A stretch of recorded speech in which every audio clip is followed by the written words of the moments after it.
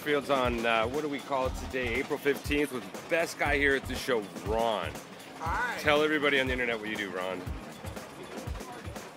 I sell rocks. Lots of rocks. Amethyst, stalactites, salt lamps, Do you have a website you can share with the internet? crystallights.com. Crystallights.com with one L between the crystal and the lights. Crystallights.com. And you'll see my color changing crystal lights. Do you have a favorite short story you could share with everybody on the internet? No. Here at the flower fields this morning. These are all these tractors they load all the folks in. Well, they take them over the fields to tour all the flowers. You're looking more and more flowers.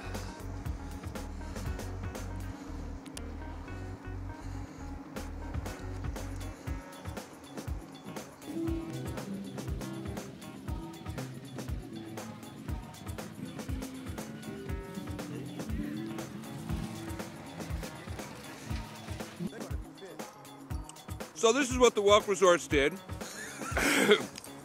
what the, what happened here? What happened here? No, what's your oh. name? I'm Michael. Again, Andre. We, Andre. Andre. We met last week. Oh, How's it going? dude, they wrapped this here thing around this tree, which that was a pretty dumb idea. And from the wind, it's just just ripped it. Poor tree, man. It's it's, it's done. Right here at the flower fields. The, Right j- here at the folks who, who the folks who set up the the Welk tent didn't take into consideration. I don't know what they were thinking. My I've had tents in more weather than this. That was stupid. Yeah, This was stupid. yeah. This was very very stupid.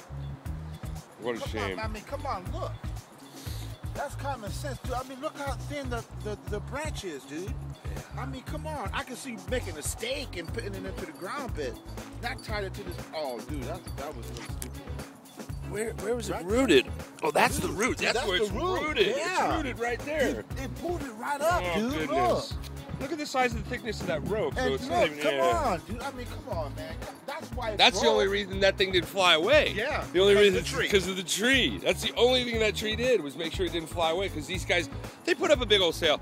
They didn't have anything to like stop this whole top from turning into a huge sail. Oh goodness!